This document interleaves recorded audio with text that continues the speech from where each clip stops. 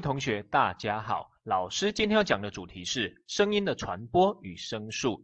那声音呢，它是怎么产生的呢？就是说，当物体振动的时候啊，它会将空气压缩，它就会变成了疏密波。然后疏密波呢，就是俗称的重波。这个时候呢，就会产生声音。那请同学看到甲这一张图片哦，里面有一个音叉。当老师敲击音叉的时候呢，音叉就会震动。然后它就会压缩旁边的空气，而变成了密布。那旁边呢，就会变成了疏布。然后这一个疏密波呢，就一直往外前进，然后就变成乙这一张图。所以乙这一张图呢，这里就有一个密布、疏布、密布、疏布、密布、疏布的这样一个疏密波，然后一直往外面前进哦。好，那反之呢？假设没有震动的话呢，就不会产生声音。张同学，你明白了吗？接下来进行的是示范实验一音叉实验。那这个实验呢，最主要是想要利用音叉来证明声音跟振动之间的关系。那由于音叉它的振动啊，肉眼来看可能不是那么的清楚。所以等一下，老师会把音叉放进去水里面，来看有没有溅起水花，来判断音叉有没有震动。第一个，不敲击音叉，没有产生声音，然后放进水里面，没有产生水花。第二个，敲击音叉。产生了声音，放进水里面，产生了水花。第三个，敲击音叉，产生声音，用手握住，声音消失，再将音叉放进水里面，没有产生水花。所以说啊，以上这三个小实验告诉我们什么呢？也就是说啊。声音的产生啊，跟物体的振动啊是息息相关的哦。接下来我们要进行的是示范实验二：牛鸣玩具。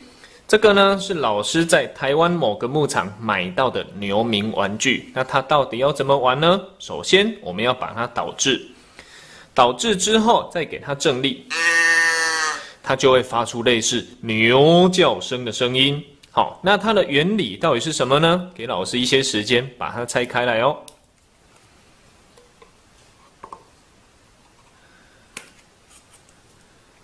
好，同学，你可以看到它里面呢，最上面的构造是一个重物，再来呢是橡皮，最后呢下面是一个纸板。好，那它的原理就是呢，当老师把它导致的时候，它是呈现这样子的一个状态。有各位同学有看到吗？好，然后呢，再给它正力的时候，这个重物就会往下压缩里面的空气，把里面的空气从这一个洞啊给它挤出来，然后挤出来之后，由于空气的震动，它就会发出类似牛叫声的声音。让各位同学，你明白了吗？好，那接下来呢是第二点，声音的传播。好，那声音呢，它都靠着介质来传播。好，那介质呢有分成固体、液体还有气体。不过呢，大部分呢都是气体，也就是空气来传递声音。好，那所以说呢，没有介质就会听不到声音，就算它有震动。张同学明白吗？接下来进行的是示范实验三，当声波遇上真空。首先，你要准备一只手机、抽气棒以及真空罐。那实验的步骤呢，就是老师会利用手机来播放音乐，再把它放到真空罐里面，再利用抽气棒把真空罐里面的空气啊给它抽走，让真空罐形成快要真空的样子。好，那由于呢真空罐里面的空气啊被抽走了，所以呢这一个介质也就是空气啊越来越少。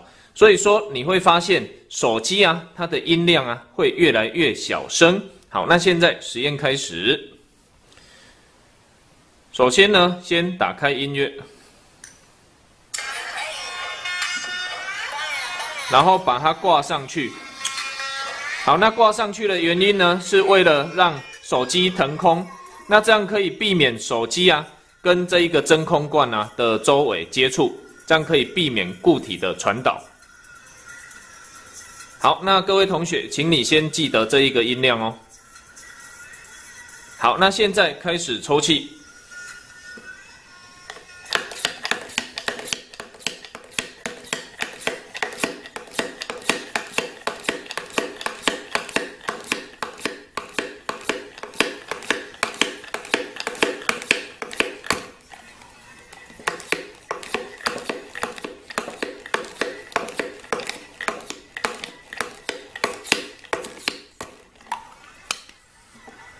好，抽气结束。各位同学有听到吗？它的声音呢，明显变小了很多。那如果呢，要再让音量啊越来越小声，那抽气的时间呢就要越来越久。好，那现在呢，老师吼要在上面这一个开口啊，给它按下去。按下去之后呢，外界啊的空气就会再跑进去里面，所以戒指啊，也就是空气啊，又会变多了。所以同学你会发现，等一下音量又会忽然变大声。同学请听。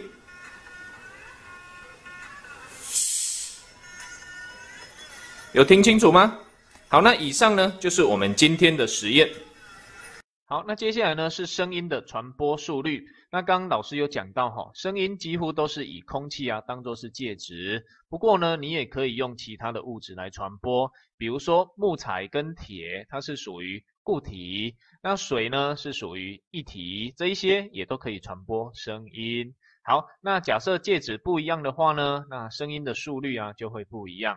那做实验做出来呢，呃，结果就是声速大小分别是固体大于液体再大于气体。好，那同学你可以看到下面这一张表格，这个表格呢是二十度 C 的时候，声音在不同介质中的传播速率。好，那最快的呢是铁，也就是固体，它的速率呢是五零三二。那其次呢是水，也就是液体，它的速率是一四六三。好，最慢的呢是空气，也就是气体，它的速率呢是三四三。第三点，在空气中温度啊，如果越高或者是湿度越大的话呢，声速啊就会越快。好，那第四点呢，声波在空气中的速率公式呢，就是 v 等于三三一再加零点六 t。好，那同学你会看到啊，这里有两个代号，这个 v 呢指的是声速。单位呢是秒分之公尺，那这个 T 呢指的是温度，单位是度 C，也就是摄氏。好，那下面这一个例题哈，同学请看哦，十五度 C 的温度下，好，那它的升速是多少呢？好，那也就是这一个公式的 T 呀，你要带十五带进去就是答案。好，那同学请看哦，V 等于三三一再加零点六乘以十五，带出来之后就是三百四十。接下来是示范实验室简易测量升速的方法。好，那这个实验呢，主要有两位同学就可以开始做喽。好，那甲同学呢，你必须去学校的体育器材室啊，借这个起跑枪。那乙同学呢，你必须去借码表。那你们必须去找一个比较宽广的空地，你们的距离啊，大约要五百公尺左右哦。好，那甲同学呢，这个时候啊，你就可以开始鸣枪了。然后乙同学啊，你就会马上看到这一个白烟，为什么呢？因为这个白烟啊，是以光速的方式，很快的到达乙同学的眼睛哦。好，这个时候乙同学啊，你就可以按下码表了。好，不过同时呢，声音啊，起跑枪的声音也会一直往前进。好，那当乙同学呢，你听到起跑枪的声音的时候啊，你就可以按停止了。好，假设量出来的时间呢是一点四七秒。好，那要怎么计算声速呢？我们要给它代入声速的公式。好，声速呢等于距离再除以时间，距离呢是五百公尺，时间呢是刚刚量出来的一点四七秒，所以计算出来呢，声速就等于三百四十。这样同学你明白了吗？好，那再请问同学哦，请问要如何增加实验的准确性呢？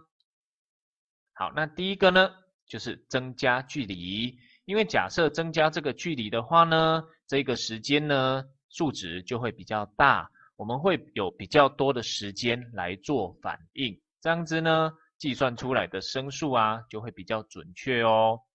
那第二个呢，就是做多次一点，比如说这个实验，我们给它重复十次，然后再把这十次的秒数啊给它取平均，再给它代入公式，做出来的声数的数值啊也会比较准确哦。